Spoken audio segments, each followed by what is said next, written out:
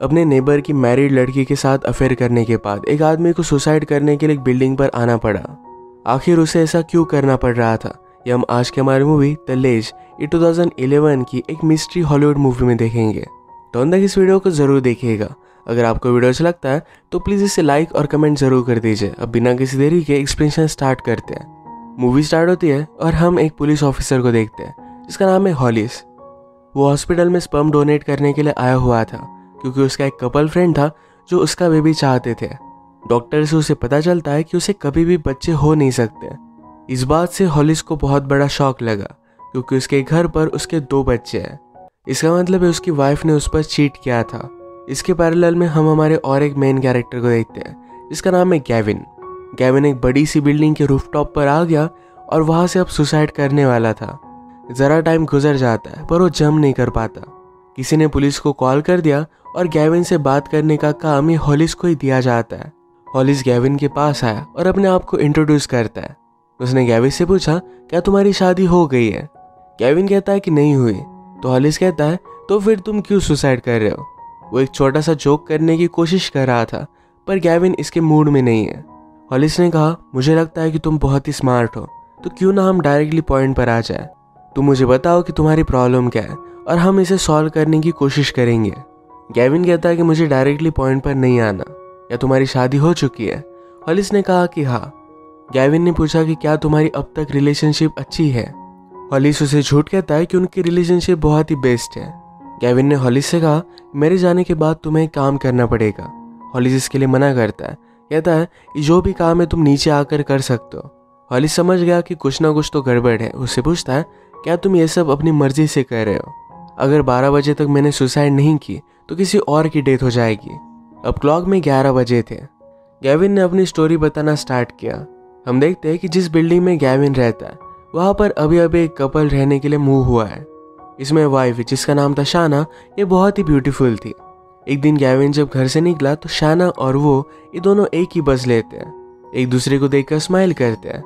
Gavin hotel में as a manager काम करता था। उसकी स्टाफ की फ्रेंड उसके पास आई, उसके साथ वो फ्लर्ट कर रही थी। केविन उसमें थोड़ा सा भी इंटरेस्ट नहीं दिखाता। वो अपने स्कूल के ऐसे के बारे में बात कर रही थी, जिसमें उसे लाइफ की एक नॉन लिविंग थी जो उसके लिए बहुत ही इंपॉर्टेंट है, इसके बारे में लिखना था। उस लड़की के जाते वक्त हम शाना को इंटर होता देखते हैं। ये दोनों एक ही स्कूल में थे। शाना को भी काम की ज़रूरत थी तो गैविन के पास इंटरव्यू देने के लिए वो आई हुई थी। अपने बारे में बताते हुए शाना ने कहा कि मुझे म्यूज़िक बहुत पसंद है, पर इसे मैं अब तक पैसे नहीं कमाती। तो तब तक वो एक जॉब करना चाहती थी। केविन ऑलरेडी शाना को लाइक करता था तो उसने उसे हायर कर लिया। घर पर आने के बाद केविन का रूम में, जिसका नाम है क्रिस उससे बात कर रहा था। कहता है कि हमारे यहाँ पर एक नेबर रहने के लिए आई हुई है, जिसका नाम है शाना उससे मेरी एक दो बार बात हुई, वो बहुत ही अच्छी है। गैविन कहता है कि होटल में जॉब करने के लिए वो आई हुई थी। फ्रेंड कहता है कि ये सब कोइंसिडेंस नहीं हो सकता। ज़रूर तुम दोनों में कुछ ना कुछ तो होने वाला होगा। इस बात को गैविन इग्नोर कर देता है, क्योंकि वो इस तरीके की कोई भी चीज़ को नहीं मानता। आज उनसे मिलने के लिए शाना और उसका हस्बैंड जो दोनों आए उन्हें डिनर के लिए इनवाइट करते हैं। नेक्स्ट सीन में गैविन ने शाना को सारे लोगों से इंट्रोड्यूस करवा दिया। ये लोग डिनर पर फिर से मिलते हैं। केविन ने पूछा कि तुम अपने ऐसे में क्या लिखने वाली हो? शाना कहती कि मैं एक टेडी बियर के बारे में लिखने वाली हूँ। गैविन इस पर हंसा, पर ये बात शाना को अच्छी नहीं लगती। शाना के हस्बैंड जो को लग रहा था कि गैविन और क्रिस ये दोनों के हैं। पर एक्चुअल में सिर्फ़ क्रिस ही के था। वो डिनर के वक्त प्रे करता है और गॉड से कहता है कि इन आदमियों ने जो भी किया है, इन्हें माफ़ कर देना। उसने उन्हें पापी भी कहा था। इस बात से गैविन को बहुत ज़्यादा गुस्सा आ जाता है और वैसे वहाँ से चला गया। थोड़ी देर में क्रिस भी निकल जाता है, पर उसके हस्बैंड के लिए शाना ने उसे सॉरी कहा। गैविन फ्रेंड से कहता है कि बाइबल में लिखा हुआ है कि जो भी लोग गे हैं, उन्हें मार देना चाहिए। इस तरीके की जो की भी सोच होगी। इसी वजह से वो बहुत ज़्यादा गुस्सा था। क्रिस ने कहा कि शाना अच्छी है। उसने मुझे सॉरी कहा था। गैविस शाना के ऐसे में इंटरेस्टेड था तो शाना उसे पढ़ने के लिए उसका ऐसे दे देती है। वो जब छोटी थी तो उसके फादर उसे छोड़कर चले गए थे, पर जाने से पहले उसे टेडी बियर देकर गए थे। उन्होंने उसे आई लव यू कहा था, पर बोलते वक्त उनकी आँखों में आँसू थे। ये टेडी बियर निशानी थी कि उसके फादर उससे बहुत ही प्यार करते थे। इसी वजह से उसके लिए बहुत ही इम्पोर्टेंट है। ये पढ़ने के बाद गैविन को अपनी बेटी की याद आ जाती है। होटल में दोनों जब फिर से मिले तो शाना ने उसे फिर से सॉरी कहा। गैविन उसे पूछता है कि क्या तुम मेरे साथ लंच कर सकते हो? शाना कहती कि यहाँ पर जो मेड काम करती है, वो चर्च में भी आती है। अगर मेरे हस्बैंड को पता चला तो मैं ट्रेवल में आ जाऊँगी। गैविन कहता है कि हम कहीं और लंच के लिए चलेंगे। वरी मत करो। लंच व शाना अपने फादर के बारे में बताती है। कहती है कि वो हमें बहुत मारा करते थे? शायद वो डर गए थे। कि वो हमें बहुत ज़्यादा हर्ट कर देंगे? इसी वजह से घर छोड़कर चले गए। गैविन मूड ठीक करने के लिए उसे एक बियर ऑफ़र करता है। वो पहले मना करती है, पर बाद में ले लेती है। इसके बाद हम फिर से प्रेजेंट देखते हैं, जिसमें गैविन हॉलिस के साथ बात कर रहा है। गैविन कहता है कि जब जो ने मेरी इंसल्ट की थी, तभी मैंने डिसाइड कर लिया था कि शाना के साथ मैं अफेयर करूँगा। ये बात करते हुए हॉलिस को अपने वाइफ का फ़ोन आया। वो इससे पहले घर गया था और अपनी वाइफ को उसने कन्फ्रंट किया। वो बहुत ही ज़्यादा गुस्सा होकर घर से निकल चुका था। वो अपने बच्चों की फ़ोटोज़ देखता है। उसे बहुत बुरा लगता है। कंट्रोल कर कर उसने गैविन से कहा कि अपनी स्टोरी को तुम कंटिन्यू करो। एक दिन गैविन से फिर से जो मिला था, उसे उससे बात करनी थी। उसे कहता है, मैं तुम्हें सारी चीज़ें समझाना चाहता हूँ। फेथ, रिलीजन, इन सब चीज़ों के बारे में उसे उससे बात करनी थी। केविन इन सब पर बिलीव नहीं करता, पर सिर्फ़ आर्ग्यूमेंट के लिए मान जाता है। गैविन और शाना बस में मिले। शाना उससे पूछती है, क्या तुमने कभी शादी की थी? केविन कहता है कि हाँ मैंने की थी। पर मैरिज में मेरे प्रॉब्लम्स कुछ अलग थे। मुझे लगता है तुम्हारे मैरिज में कुछ अलग ही प्रॉब्लम्स है। किसी ने अगर तुम्हारे साथ रहम खाकर शादी की, इसका मतलब ये नहीं होता कि तुमसे वो प्यार करता है। शाना को ये बात अच्छी नहीं लगती तो गैविन ने सॉरी कहा। उसने पूछा कि तुम्हारा डिवोर्स कब हुआ था? गैविन कहता है कि दो साल हो गए। शाना ने कहा, तुम अपने आप को रिकवर करने में बहुत टाइम ले रहे हो। गैविन मज़ाक में कहता है कि अगर तुम मेरे साथ इंटीमेट होने लग गए तो मैं जल्दी जल्दी रिकवर हो जाऊँगा। गैविन ने होली से कहा कि मेरी ये ट्रिक थी। उसके माइंड में मुझे एक आइडिया डालनी थी। अगर इसके बाद शाना का अपने हस्बैंड के साथ झगड़ा होता, वो डायरेक्टली मेरे पास आ जाती, मेरे बारे में ही सोचती। सचमुच में ऐसा ही हुआ था। शाना उसके बारे में सोचने लग गई थी। अगले दिन बस में जब फिर से मिले तो गैविन उसे कल के लिए सॉरी कहता है। उसने कहा कि मैं फिर से तुमसे कभी भी फ्लर्ट नहीं करूँगा। ये भी उसकी एक ट्रिक थी। उसे अटेंशन देकर फिर से उसे दूर जाना। रात में गैविन और जो ये दोनों मिले। रिलीजन के बारे में बात कर रहे थे। गैविन कहता है कि रिलीजन के नाम पर लोग कुछ भी कर सकते हैं, जैसे कि नाइन इलेवन उन्होंने खुद से सुसाइड बॉम्बिंग की। ये बहुत ही गलत चीज़ है। जो कहता है कि वो अलग चीज़ है। हमें गॉड पर हमारी फेथ के लिए बिलीव करना चाहिए। अगर हॉस्पिटल में छोटे से लड़के की डेथ हो रही हो, उसे लगता है कि वो हेवन में जाएगा तो हम उसकी फेथ को क्वेश्चन नहीं कर सकते। केविन कहता है कि यह भी बात सच है। पर फिर भी गॉड एग्जिस्ट करता है। यह मानने के लिए रेडी नहीं था। गैविन की लॉजिकल बातों की वजह से बहुत ही ज़्यादा गुस्सा हो जाता है। शाना ये देखकर गैविन से कहती है प्लीज़ यहाँ से चले जाओ। अगले दिन शाना गैविन से बात करती है। उसने कहा, जब मैं टीनेजर थी तो मुझे ड्रग्स की आदत पड़ गई थी। उसके लिए मैं कुछ भी कर सकती थी। एक दिन वो पैसों के लिए एक आदमी के पास गई, जिसने उसे बहुत मारा था। इन सब की वजह से उसकी लाइफ बर्बाद हो रही थी। वो जब हॉस्पिटल में थी, तब जो से मिली थी। जो ने उसे ज़िंदगी जीने का एक सही तरीका दिखाया। वो इसके लिए बहुत ही ग्रेटफुल है। वो गैविन से कहती है कि प्लीज़ उससे ज़रा दूर रहना। कल रात जो भी हुआ, इसके बाद और भी ज़्यादा स्ट्रिक्ट चर्च में वो जाने वाला है। शाना चाहती थी कि गैविन भी उससे दूर रहे। गैविन कहता है कि तुम बहुत ही ब्यूटीफुल हो। शाना कहती कि तुम भी हैंडसम हो। इसके बाद वो यहाँ से चली गई। गैविन सचमुच में उससे दूर रहने लग गया। एक दिन होटल के स्टाफ के फादर की डेथ हो गई। वो बहुत रो रही थी। गैविन उसे सहारा देता है और उसे लग रहा था कि उसके फादर हेवन में जा रहे हैं तो गैविन भी इस बात से एग्री करता है। शाना ये सब देख रही थी। रात में गैविन रूफ टॉप पर हैंग आउट कर रहा था तो उसके पास वो आ जाती है। गैविन सिगरेट पी रहा था तो शाना कहती कि जब मैं हाई होती थी तो मुझे वो पसंद आता था।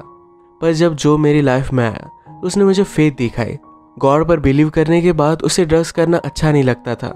गैविन कहता है कि गॉड के अलावा ऐसी बहुत सारी चीज़ें जिससे तुम इंस्पायर हो सकते हो।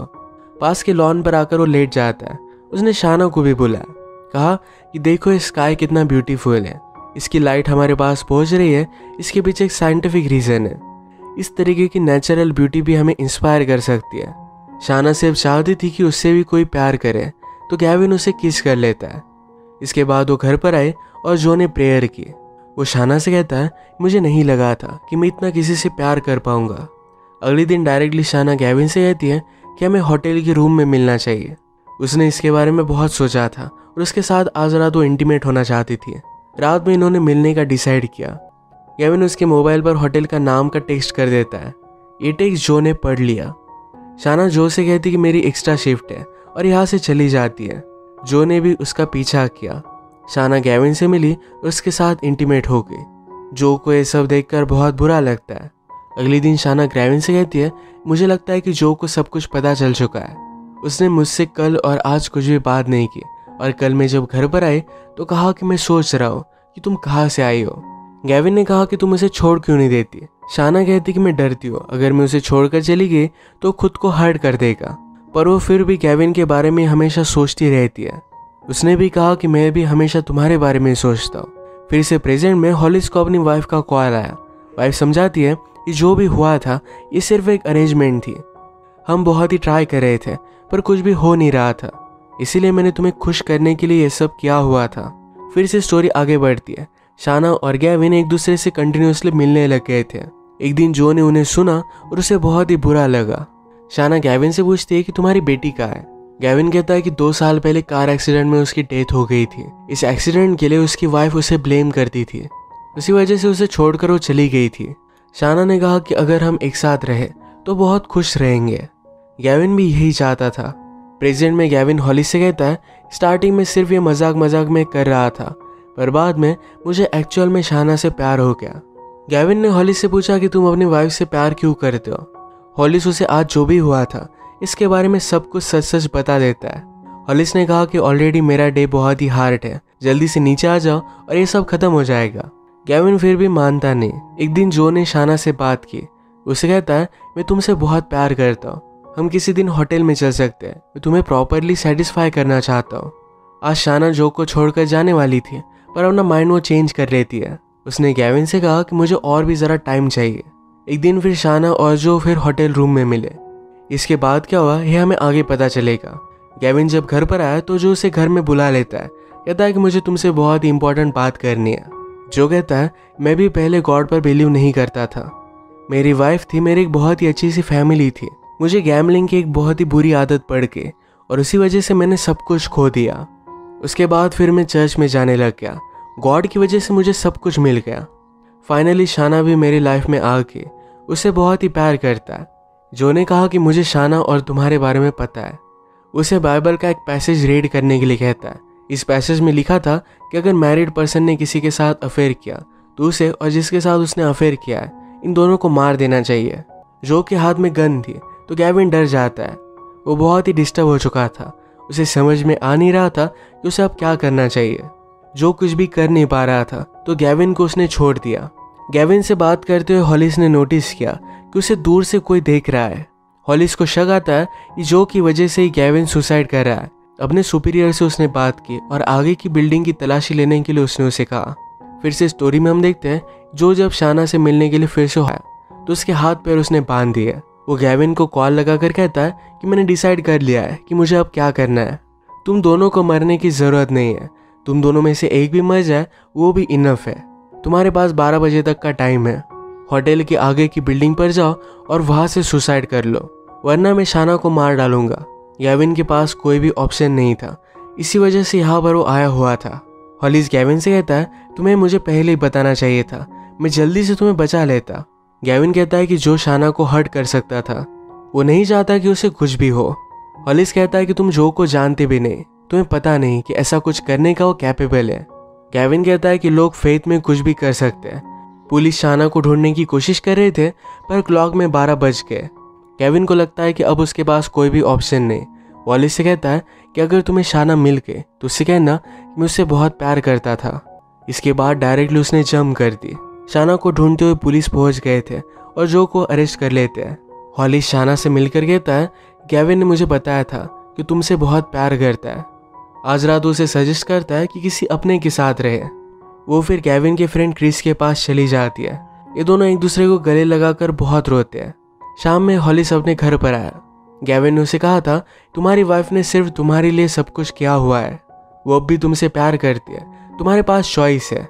हॉलिस को भी ये बात सही लगी और अपनी फैमिली के पास वो वापस आ गया। वो सारी बातों को भूल जाता है और पहले उसकी जैसी फैमिली थी, उसी तरीके से फिर से कंटिन्यू करता है।